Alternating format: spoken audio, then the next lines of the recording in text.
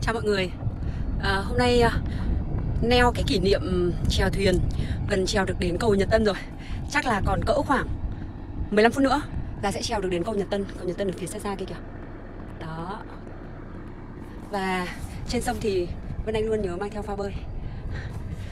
À, Hiện tại đã chèo được 50 phút rồi. À, Có người hỏi là trèo một mình thế này có buồn không? Thì à, thực ra là trong cuộc sống ấy Đôi khi cũng phải tập quen với việc một mình. Cảm ơn cả nhà.